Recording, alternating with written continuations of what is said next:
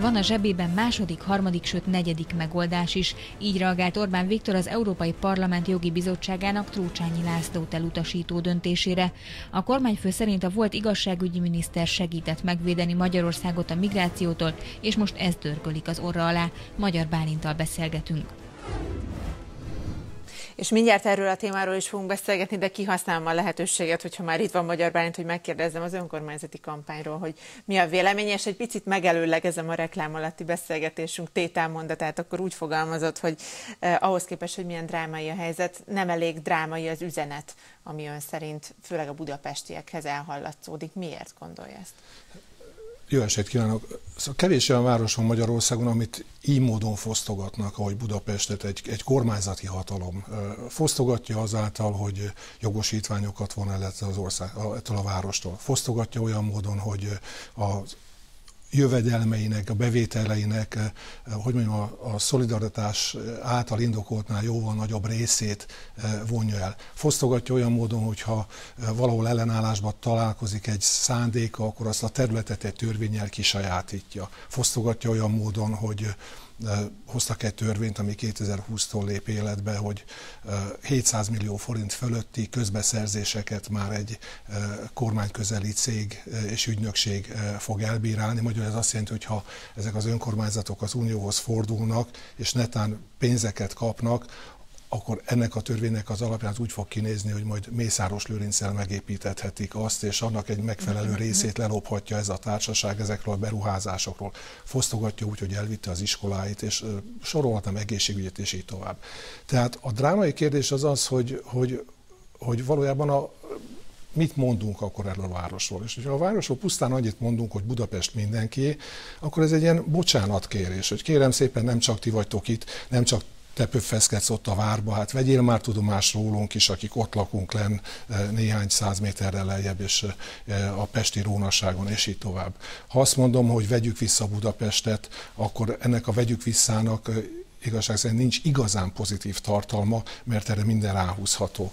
Az igazi program arról szólna valójában, hogy vessünk véget Budapest kifosztásának, és annak a helyzetnek, hogy most éppen legutóbb az állami eh, kézbe veszik eh, azokat a önkormányzati eh, lakásokat, amelyeket ki lehet adni mondjuk a világörökség területén, és a haveroknak ki lehet osztani. Tehát ezt a féktelen tobzódást, lopást, és az, hogy azt építenek ebbe a városba, hogy ezt mondjuk Orbán Viktor a saját homokozójának tekinti, és a polgárok nem érdekli, ennek a fosztogatásnak véget kell vetni. Vegyük visszában, ez nincs benne elég hangsúly nem Vegyük visszában nincs én szerintem, mert, mert nem utal a választó számára arról, hogy itt lényegben egy erőszakos hatalom lényegben fosztogatja ezt a várost, és neki jogában állna dönteni bizonyos kérdésekről, hogy nem lehet azt csinálni, nem lehet azt csinálni, hogy, hogy miközben nem mernek egy népszavazást elindítani az olimpiáról, hogy rendezünk-e, mert tudják, hogy ezt a Budapest polgárai elutasítanák. Eközben lopakodó módon mondjuk stadionok a tömegét építgetik, és mondjuk egy, egy Csepel-sziget északi csúcsán ott majd atlétikai centrumot hoznak létre, ahelyett, hogy mondjuk a Budapest eldönthetné azt, hogy éppen azt a területet, azt mire kívánja, mire kívánja használni. Tehát ez a dráma, hogy, az, hogy lényegben az életedet veszik de a kultúráját is, mert mondjuk a TAO pénzeknek, a, a TAO pénzeknek az átrendezésével, az alternatív színházi kultúrának a visszaszorításával belegyalogolnak Budapest életébe. A, a, kérdés az az, hogy egy, hogy egy felkapaszkodott felcsúti suhanc, az, az gyakorlatilag pöffeszkedve a várba, mutogatva az erkélyéről a saját birtokát, dönt erről a városról, ez a város visszaveszi magát, de lényegében ezt a fosztogatást kell leállítani. Azért érdekes, amit mond, meg ahogy mondja, mert hogy éppen az értelmiség szokott akkor fintorogni, hogyha egy kampány nagyon durva, meg nagyon leegyszerűsítő mondatokkal operál, és most meg éppen ezt kéri számon a mostani kampányon. Hát persze, mert ennek az a szerepe, hogy lényegében a kérdés az, hogy többé-kevésbé megvolna az a többség, amivel Budapestben az ellenzék nyerni tudna. A kérdés az igazán, hogy akinek nem tetszik a kormány tevékenységét Pesten, az föláll-e a fotelből és elmegy szavazni. A város mindenki típusú szöveget gyengének érzem ebből a szempontból. De mi van, hogyha pont ezzel akarja magát megkülönböztetni az ellenzék, és egy ilyen nyugodt, programközpontú... Igen. A program központúság azt jelenti, hogy ha minden egyes programelemről külön beszélnek, akkor azokat természetesen egy nem jut el a választók nagy részéhez, másrészt nincs az a kapocs, ami összefogja. Uh-huh. Tehát lehet azt mondani, hogy zöldebb Budapest legyen, de ha ezt nem abban a kontextusban teszi meg, hogy gátlástalanul kivágják a fákat, ha éppen a saját leendő szállodáik számára akarnak mondjuk a József Nádor téren parkolót építeni állami pénzből, nem ebben a kontextusban teszi meg, akkor pont ezt a drámaiságot veszi ki ebből a helyzetből, a, a, a szituációnak és a kormányzati cselekvésnek a mérhetetlen gátlástalan amoralitását viszi el ebből, mint hogyha csak szakkérdésekként vitatkoznánk, szakkérdésekről vitatkoznánk, hogy most ennyi fa kell Budapestre, vagy annyi fa kell Budapestre, holott nem erről van szó, arról van szó, hogy rabolnak, saját zsebre rabolnak. Igen, de ugye már a, a, a tavalyi országgyűlési választásnak is sokak szerint az egyik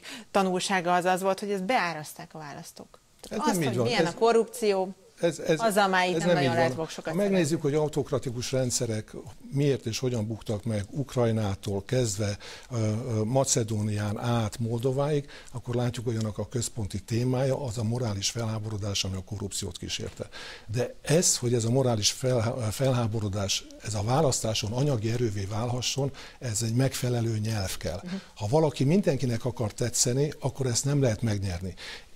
Sajnos egy ketrecharcba nem ülhetsz le sakkozni.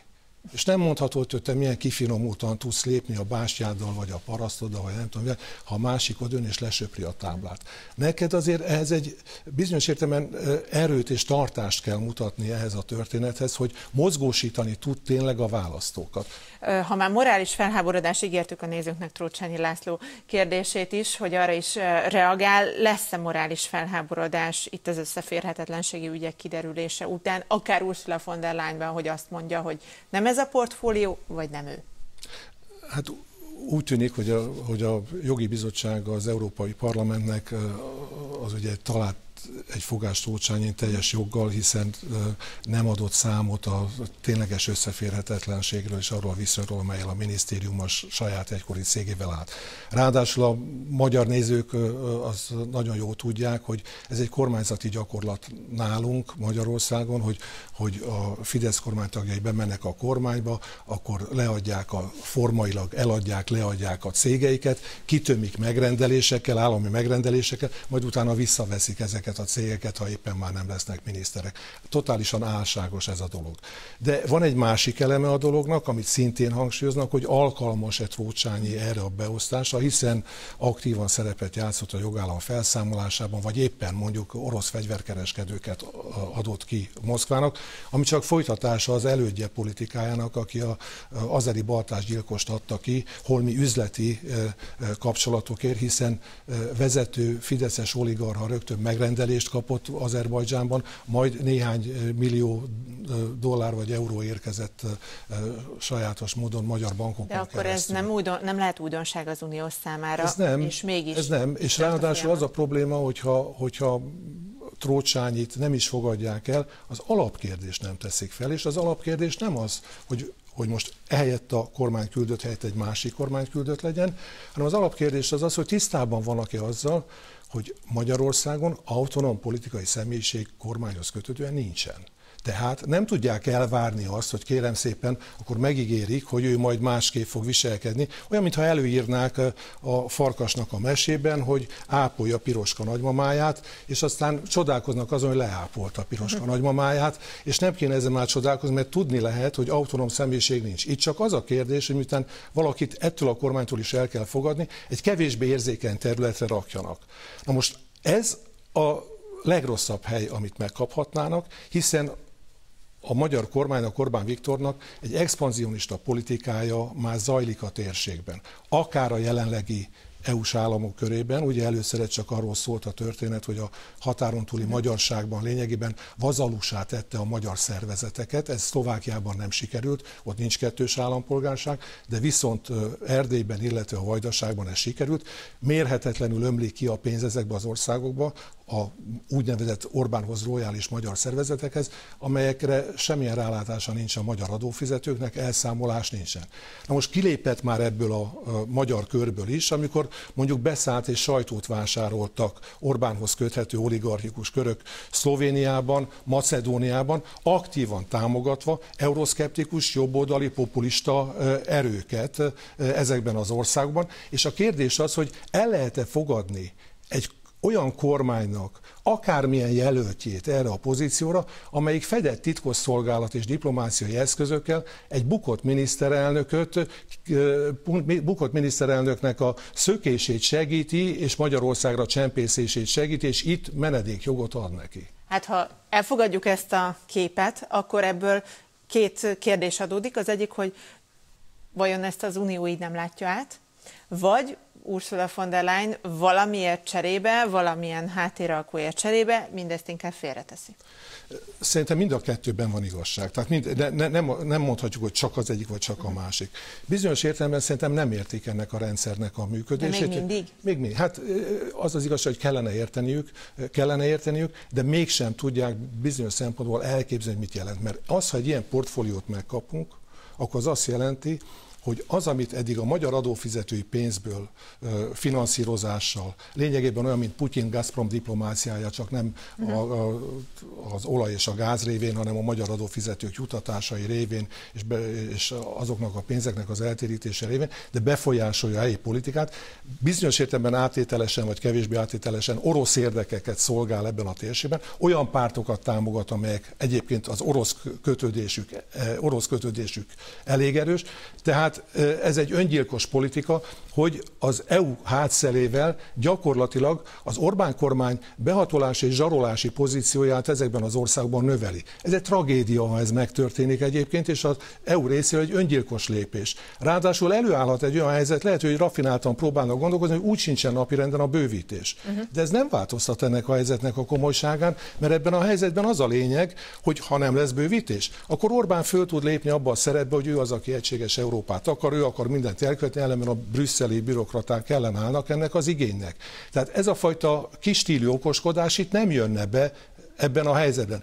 Hát másrésztről pedig, hát ugye az volt a kérdés, hogy ezt nem látják-e, vagy pedig valamilyen alkú kérdése. Én szerintem igen, vannak ilyen alkuk, csak éppen nem látják be, hogy, hogy nem lehet ezt a típusú Orbáni politikát ezekkel az alkukkal kordában tartani, és aláássa az, hát az Európának a, az a szükséges, szükséges egységesedését és, és egységes politikai erőként történő fellépését, ami kívánatos lenne. Hát lehet, hogy sokaknak jót tenne, hogyha hallanák néha így az elemzéseit, akár uniós szinten is. Köszönöm szépen. Én is köszönöm.